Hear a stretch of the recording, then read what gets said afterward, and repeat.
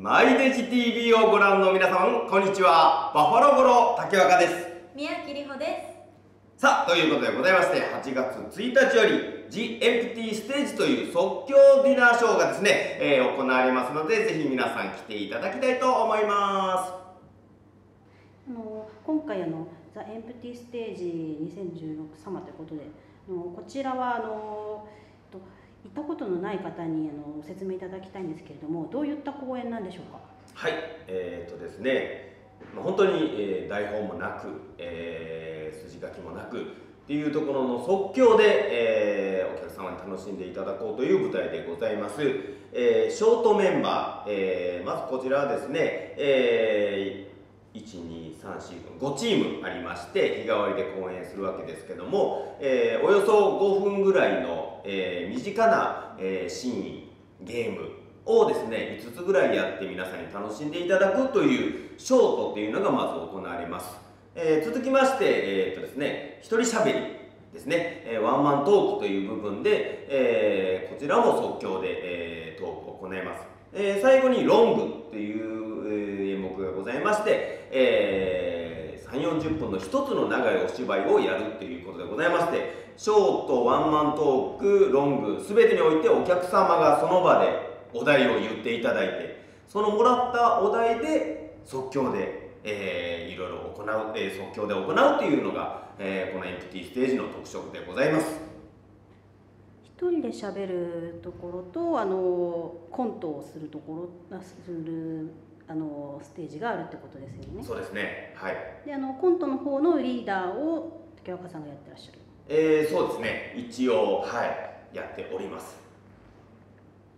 今回リーダーをするのは初になるんでしょうか？いや、えー結構ずっと前からいろいろと、えーまあ、スタッフと一緒に、えーどうしたら、えーもっと楽しんでもらえるかみたいなところは、えーやっておりまして。はい、えーいろんなメンバーの、えーまあ、トレーニングも一緒に楽しんでやってるといった状況です。はい。宮城さんは今回2度目の参加ということなんですけれども、は今回も出場が決まった時のあの率直なご感想とはい。あの前回はどうだったのかってお聞きしたいんですけども、はい。前回があの楽しみはできたんですけど不完全燃焼だなと思うところもあったのでちょっと悔しいなっていう思いが正直あったので2回目決まった時は嬉しくもあったんですけれどもちょっとまた緊張感が蘇ってきました。前回の時はじゃああの、せもうちょっとできたそうですね。なんか殻を破りきれなかったっていうのとあとは自分をもうちょっと出せたんじゃないかなって思うところがあったので今回はその気持ちをバネにもっと進化した自分を見てもらえるように頑張ります。前回の宮城さんの、えー、と出演したものはあの竹若さんはご覧になったんですか？はい見てました。あ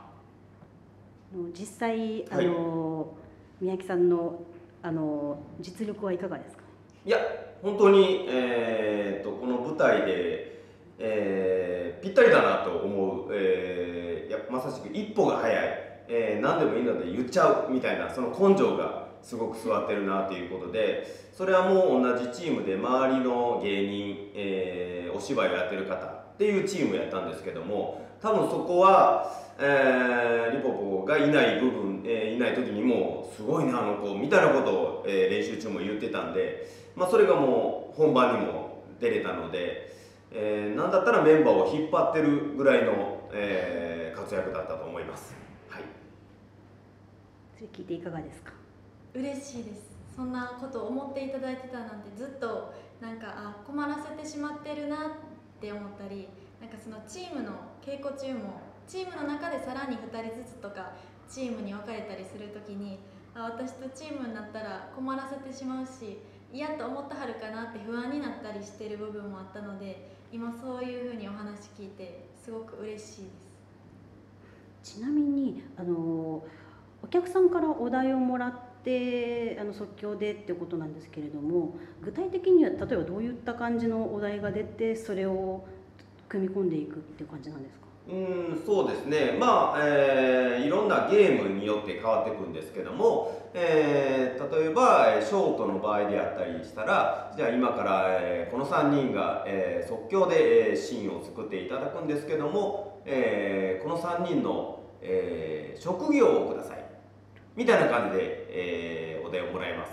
でその時に、えー何かこう、えー警察官っていう声が出たらもうでは行きましょう警察官でスタート。でもうもう考える時間もないまま警察官になりきって、えーシーンを作っていく、えー即興劇始まるといった感じですね。他にもいろんな、えーゲームの内容がありますのでなんか有名人をもらったりとか、えー何か言われて嬉しかった言葉ないですか？みたいなでその言葉を、えーなんかタイトルにしたお芝居をやってみるとか、えーいろんな感じでお客様の、えーお題、えーそのそれが即興劇に生かされるという内容でございます。それはショートの場合？えーそうですね。あのでもロングの場合は本当にそのお芝居のタイトルをもらう、はいえー例えば「動詞をください」とかまず「走る」とかもらって次名詞をくださいとか言ったら「リンゴ」とかなったら「分かりました。じゃあこのお芝居のタイトルは「走るリンゴです」では見ていただきましょう。どうぞ。みたいな感じでそのタイトルをうまくこう、えー最後の方に絡めながらみたいな感じでもうやっていくっていう感じですね。はい。ちなみに困ったお題をそれぞれお聞きしたいんですけども まず竹若さんから。そうですね。本当にうーん全員が知らなかったっていう、